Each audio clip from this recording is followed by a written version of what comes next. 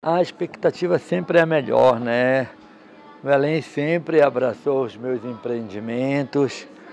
É, trazer o Casablanca de volta sempre foi uma solicitação, um pedido de todos os meus clientes. Acho que existe uma saudade desse lugar e a gente trouxe ele com uma nova roupagem, né, com uma nova proposta, usando um pouco da antiga culináriazinha do que era o Casablanca, mas mais do que isso, trazendo é, uma nova arquitetura, numa casa linda, né, uma casa icônica para a arquitetura paraense.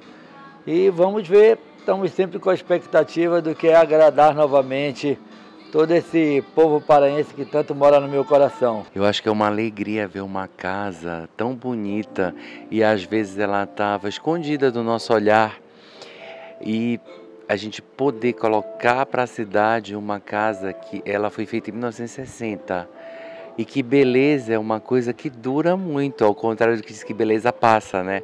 É uma casa tão bonita, o Alberto veio, recuperou a casa, colocou na parte do entretenimento, na parte de música, comida, então as pessoas elas podem aqui vivenciar essa arquitetura. Eu acho que isso vai fazer totalmente diferente.